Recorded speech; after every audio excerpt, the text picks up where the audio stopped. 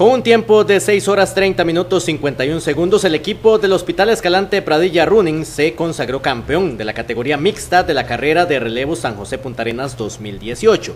Esta victoria fue la cuarta al hilo que cosechó el conjunto del hospital en esta actividad que reúne a cientos de atletas y donde los generaleños una vez más destacaron. Además del primer lugar en los mixtos, el HEP fue cuarto en la clasificación general. El deporte nos gustaba mucho, en la zona es, el atletismo se ve, se ve muchísimo y lo que hicimos fue apostar por, por muchos jóvenes de la zona, todos los, los hombres que, corren son, son de la zona. Hicimos un equipo, nos ha ido muy bien por, cuatro años y, y, apostamos por algo sano que es un, para un estilo de vida, ¿verdad? Y además el deporte es salud y qué más que promoverlo de esta forma.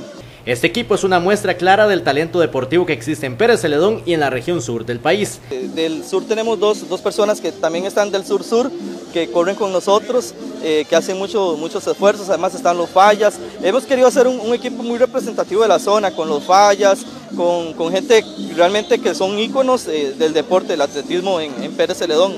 Felicidades a los tetracampeones que desde ya están pensando en el pentacampeonato para el 2019.